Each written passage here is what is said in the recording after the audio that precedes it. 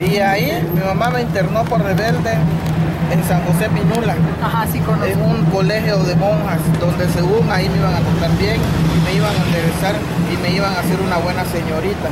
Pero llegaba el sacerdote de Guatemala, de la capital de Guatemala, y a todas nos pasaba por sus armas, nos metía el dedo. En las partes. En las partes nos metía el dedo, nos acariciaba. nos Tú, tú me dices que vienes de Puerto Barrios. Sí. Yo en Puerto Barrios tuve uno de los peores momentos de mi vida.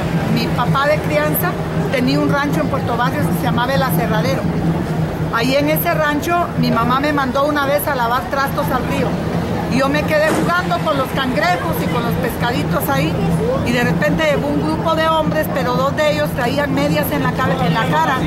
Y este, me, me enteré que eran soldados caibiles. A mí esos, esos soldados caibiles me abusaron. Me metieron mi cabeza dentro de un hoyo y me dejaron mis piernas zafadas. ¿Es cierto no es cierto que los caibiles estaban en Puerto Barrios? Hasta el sol de hoy, los caibiles andan haciendo desastre. Cuando ellos quieren, se meten a las rancherías, violan a las mujeres, violan a los niños, no les importa, los matan y el gobierno no hace nada. ¿Y los curas cómo son en Guatemala? Tú conociste al padre Chemita. Lo conocí como no. ¿El padre Chemita era buena persona? Aparentemente, porque él llegaba a los colegios y violaba a las niñas, nadie le decía nada. Ahí está. No es mentira, hay mucha gente que cree que yo estoy mintiendo. Incluso hay un blog en Facebook que dicen que a mí no me violó el padre Chemita, que eso es mentira.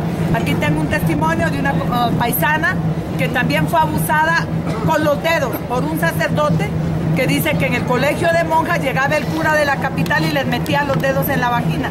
Entonces quiero que sepan que no es mentira. Fui violada por el padre Chemita, la señora da testimonio de lo que ha sucedido allá, también da testimonio de los soldados caipiles que dice ella misma que hasta el día de hoy siguen violando niñas, mujeres y todo en las rancherías.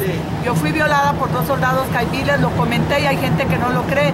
Un testimonio más. Por esa razón hay muchos indígenas de Guatemala viviendo aquí en México, protegidos por México, porque si ellos regresan allá, siguen haciendo lo mismo, violan a sus hijos. Así es, desgraciadamente, pues muchas gracias, paisana, que Dios te bendiga. Te quiero mucho, para mí es un gran honor tenerte aquí, haberte conocido el día de hoy y tienes una amiga aquí en México cuando tú lo necesites. Muchas gracias.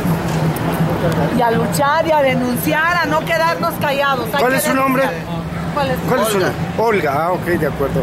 Pues muchas gracias, Olga, por este testimonio. Gracias.